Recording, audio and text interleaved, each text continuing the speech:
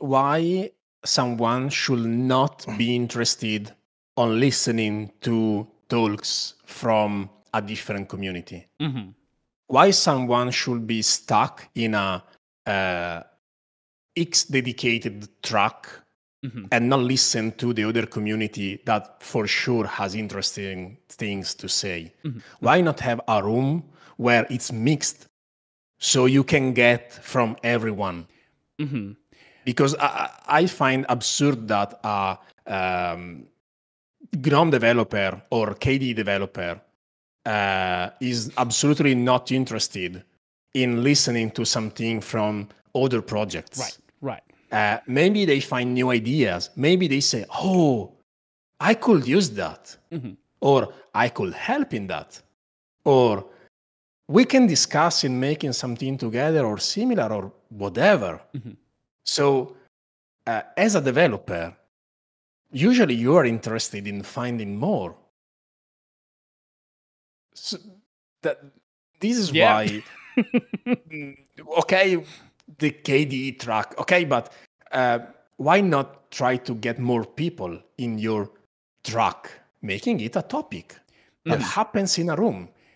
And by not having it be necessarily the KDE track or the GNOME track, it also creates this sort of, I guess, encouragement for cross desktop talks where you might have some discussion where it's like, I don't know, integration of Rust into the Linux desktop, and you have a, a KDE and a GNOME person doing the talk together rather than just, hey, we're talking about you know, Rust in KDE, right? It, it gives you the ability to sort of foster these relationships across the desktops rather than just having them, again, be siloed into their own separate communities. Correct. I agree, and uh, and I think it's uh, from perhaps a broadest point of view, or you know, content creator press. I don't know. Wouldn't it be more interesting to cover? Right? It would it, like there's a potential of having more engagement, more like wow moment. Wow, I need to cover this. It's not just uh, sorry, I don't same old, same old. They're doing their thing. This, these people are brainstorming here together, and they're helping each other. So I think that it there's a potential of creating a self-feeding mechanism for growth Mhm. um, by just sparking the interest of the content creators. Mm-hmm. Yeah, this is this is a problem that I notice. So this is a bit of a side tangent. I think it's actually kind of important. A problem I notice with a lot of the it's not just an Akademy thing or a Guadec thing. I feel like all of the conferences do this, where th- a lot of them don't separate. I think Akademy started doing it now. Um, don't separate their talks out into separate talks. So you'll see like a an eight hour track get uploaded to YouTube, and it's just okay. I don't know what happens in any of this without going and looking at the schedule, and it, it it's like a, a minor thing, and being able to like cut those up. It's little things like that do make like my life considerably easier because you know you can easily point someone to like hey here's this interesting talk here's this uh i don't know carl's talking about the cosmic desktop for example at some conference and that makes it a lot easier and then having these these topics where it's not just going to be about a singular desktop it i think makes those ah all good all good um makes those Is in- quitting.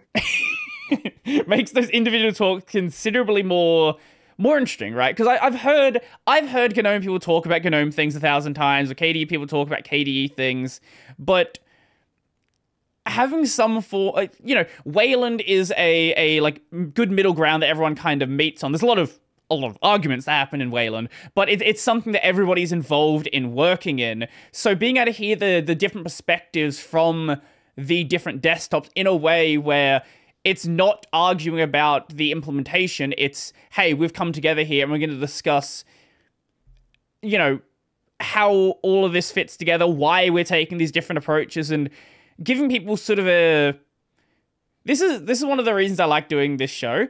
I like showing that there are actually people working in Linux. It's not just usernames, it's not just profile pictures. There are actually people involved in this and it's I don't know. I think it, really does help to humanize these projects and give people more of an insight into the fact that yeah, that there's people who are doing this and they're they're all doing really cool things. Even if you don't use their project, even if you don't agree with all of the choices they make, there are still people involved in doing this. I think they are doing a fantastic job, and I also always like to do this. Um, these people is wonderful people, mm-hmm. and sometimes somebody, you know, from the internet, you read a comment, you don't, you're busy, you see the reply, you take it, you don't know who this is, you might say, How dare this person say this? While if you talk to these people in person, you have more time to find out, you'll find out that they, all the people that I've met from both GNOME and KDE and many other projects, have a really good heart and good intent mm-hmm. and and it helps to know you know you kind of kind of build a rapport and and you know that they mean well and it's something that is very very hard to do from a text line right. in a git comment or a discourse forum and uh, i think you got that spot on yeah i think one of one of the things I would really hope the conference like this would be able to do is foster more of a collaborative relationship amongst the projects because I'm I'm sure people don't necessarily hate each other, but you do see a lot of I'm I'm look, I'm sure there's some people that hate each other. I'm not going to speak for everyone, but as like a, a general basis, most people they're kind of just doing their own work and a lot of the interaction that if you're someone who develops KDE all day every day and someone else is a GNOME developer all day every day, you're not going to really have that many chances to interact with people from these other projects and providing this this shared space where you can really just you know get to know each other, have a beer or whatever a juice, I don't know, whatever you feel like drinking. Um and really get to know each other from the other projects like you can already with your existing conferences.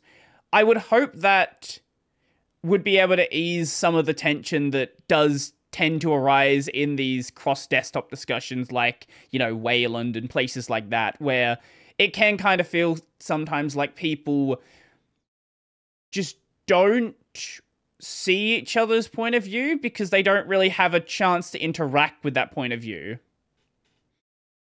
I'm sold. When do we start? oh, we're doing it in Australia now. Oh, yeah. Make make it suck for everybody. the five Australian devs, we're we're we're doing great. Everyone else, enjoy your thirty hour flights.